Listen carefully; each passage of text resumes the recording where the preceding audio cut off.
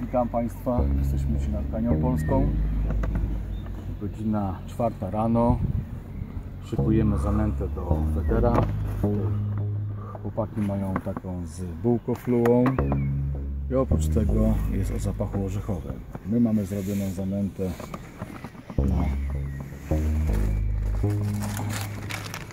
Gross Gardens kilogram i do tego dołożymy Match Pro zapach karmelowy na leszcza, wiadomo.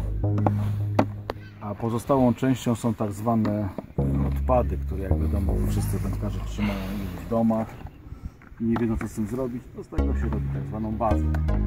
1,5 kg jest y, tej bazy i kilogram mięsa i karmel. I staramy się coś tu złowić. Jesteśmy pierwszy raz w tym kawałku kani polskiej.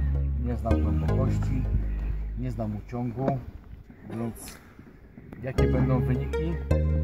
Zobaczymy po 4-5 godzinach czy coś w ogóle będziemy mogli pokazać do, do filmiku no to na tyle. Resztę pokażemy jak będziemy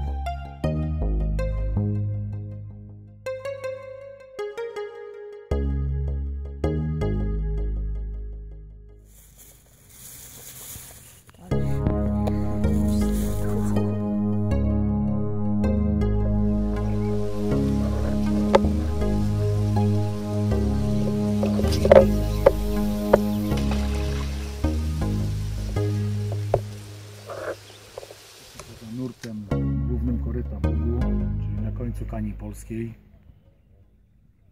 Woda jest tutaj około 2, może metrów, może 2,5, maksymalnie 3. No i nie ma ryb i nie będzie ryb. No trudno. Złowimy to co złowimy.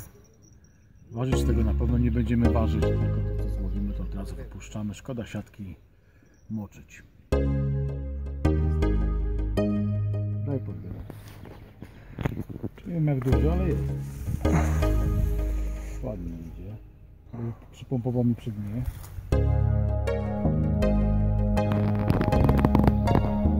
Duży jest, taki sam jak tam. Moim zdaniem na tej płciźnie. No, cieszmy się z takiej rybki nawet, jak mamy tą w.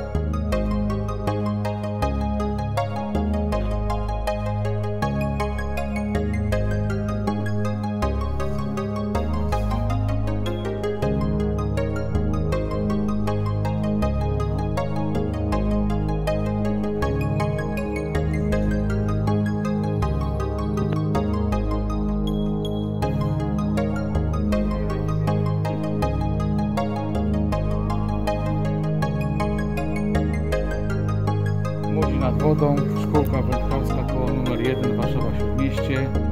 Pierwszy trening e, z Federem naszej młodzieży na kanie polskiej. No wynik jak wynik, to widać to co się udało złowić dzieciom i, i tylko dzieciom.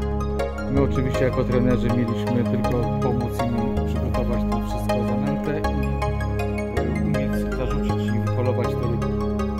Także e, uważam za sukces naszej szkółki, że tak to